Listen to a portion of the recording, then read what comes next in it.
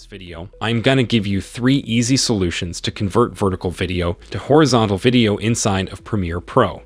What you want to do is first create a new sequence by going to File, New Sequence, or you can hit Command N as the keyboard shortcut, or come down here and click New Item Sequence. Since it was shot on an iPhone that uses 30 frames per second, I'm going to choose this option, the DSLR 1080 by 30. Okay, that's going to give me a horizontal video, which will be perfect for YouTube. So here is solution number one. Simply drag your clip onto the, onto the timeline and write like that.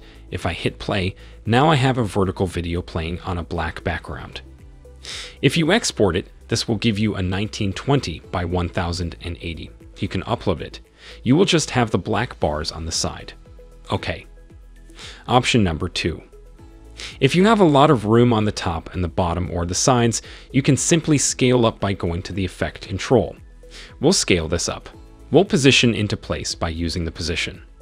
And now just like that, I have a horizontal video playing on a horizontal background and you never would have known that it was vertical. If it does not ruin your story, or if it does not ruin the look of your video, you can simply just scale up, and you might have a workable solution like that. Okay, so that is option number two. Simply scale up. Okay, we're on to solution 3. Make a duplicate of the original layer by simply holding the Option key, drag up or down. Now we have two of the exact copies. Take the bottom layer, select it, go to the Effect controls, and scale that thing way up. Okay, we're trying to make it an abstract background. So it really is going to depend on the video that you're working with, but just scale it way up. Now we have the main video, the vertical one, playing on this abstract background, but we're going to spruce it up a little bit. With the bottom layer selected, you're going to come over here to the effects panel. We're going to put on two effects. We're going to put Lumetri.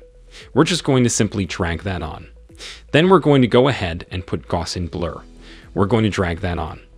I've already done these in advance for sake of time, but then you'll see them over here in the effects panel. Let's go ahead and select the top layer now. We're going to search in the effects for drop shadow, so we're just going to search that. We're going to take that and drag that on, so we can have a little separation from the top layer to the background. So everything from here on out is really up to your imagination, but I'll just show you what I did. With the bottom layer selected, I just added a Gaussian blur. I cranked it up to 57%. Now I have this blurred background. It's not a lot of contrast. So then I added the Lumetri so I could start playing with some of the colors, some of the basic color corrections of lightness, darkness, just to give it a little bit of a pop.